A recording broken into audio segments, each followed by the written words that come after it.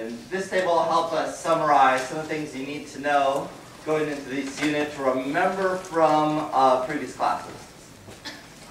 So let's start with the first one. Uh, groups. Let's take whenever a carbon has four groups. So uh, before in the transition metal unit, we called this ligands. They're not called ligands in this unit, but they're group, three different, oh, four different things attached to the central carbon. Uh, hybridization. Whenever there's four things attached to the center carbon, that's sp3.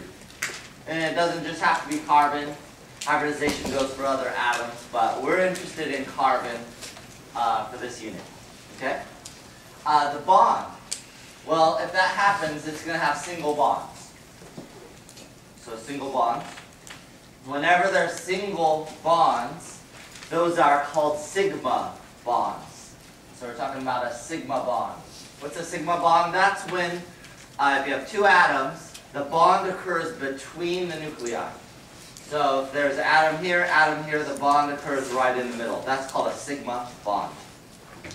Okay, what's the shape? It's tetrahedral. Tetrahedral. So that means uh, it looks like a tetrahedron shape and it's 109.5 degree bond angles, or what's called the ideal bond angle. It might not be that exact bond angle, but those are the ideal mathematical angles. Okay, how do you draw a thing with four groups?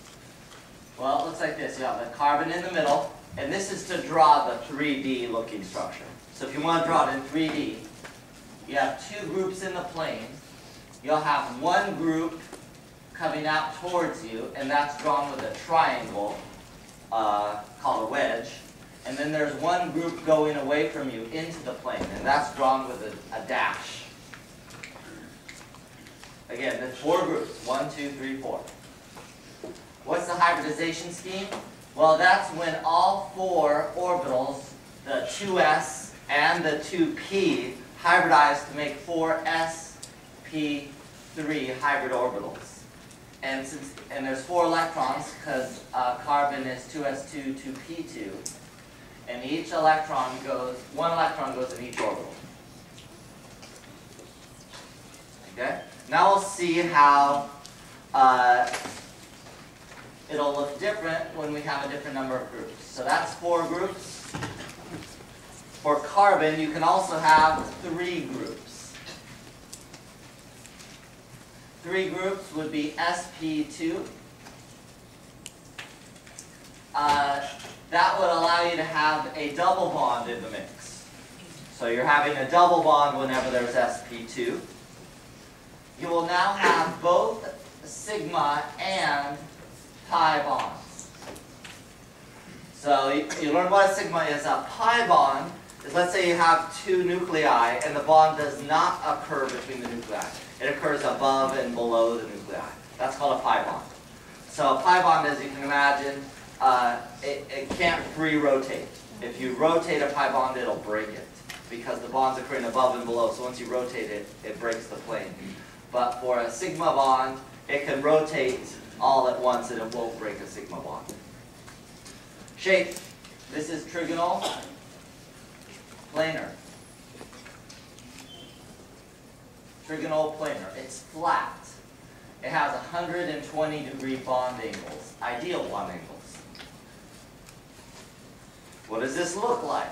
You have a double bond and two single bonds attached to the central carbon. Notice this counts as three groups. There's a single bond, a single bond, and a double bond. So that's three groups total. Okay, that's the three groups in the very beginning. Whereas the one at the top had four groups, so we start off with a four at the very beginning. What's the hybridization scheme? Uh, looks like this. 3 will hybridize to sp2. 1 will not hybridize. One of the 2p orbitals will not hybridize. It will keep its electron like that. Well, one thing I'll add into this drawing here. uh, how do you draw this with its sp3 orbitals? So I'll add this kind of into both drawings. An sp3 orbital just looks like a lobe, like that. So if you're drawing in the hybridization in instead of just drawing the bond, you do your best to replicate this drawing just with lobes. Like that. Okay? So it's still tetrahedral.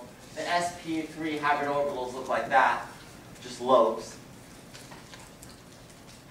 If you're drawing it for this one, uh, the sp2 hybridized orbitals also look like lobes, so you kind of draw those in a trigonal planar sort of fashion. And you'd also have to draw the 2p orbital. I'll just draw it in a different color, red. The 2p orbital has two parts. It has two parts, the the top and the bottom part, so this counts as one orbital right here.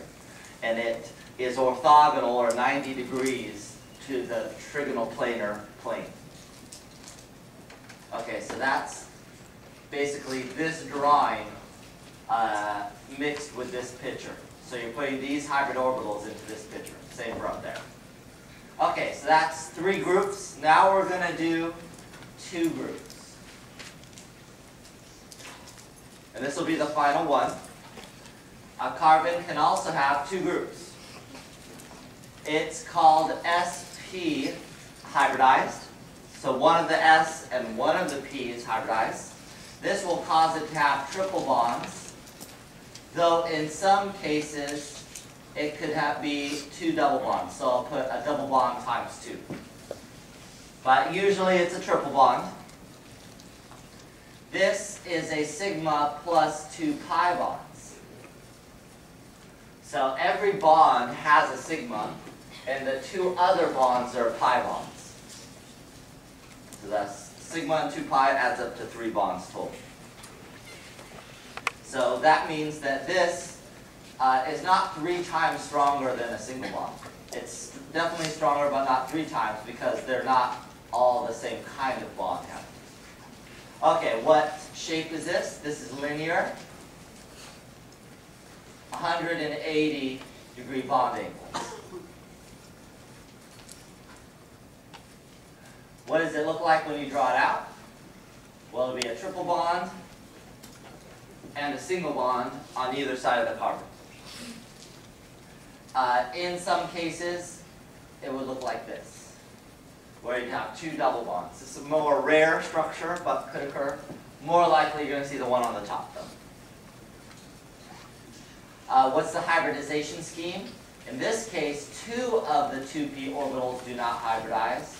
But one does with the 2s orbital to make an sp hybridized orbital, which is what I said earlier uh, in the hybridization column. And uh, everybody has one electron. What does that look like if you mix these two drawings to draw the, the drawing with the hybridized orbitals? It looks like this. You'd have there's going to be an orbital for each one of these horizontal lines. So you have two sp hybridized orbitals here. And they also look like lobes, just like the other hybridized orbitals. And then you'll see you have two of the 2p orbitals. And they're both, everything's orthogonal. So here's one of the 2p's, like that. 2p, I did label 2p here earlier. And then the other one will be at 90 degrees to both of those. So I'll it going kind of in and out. Here's the other.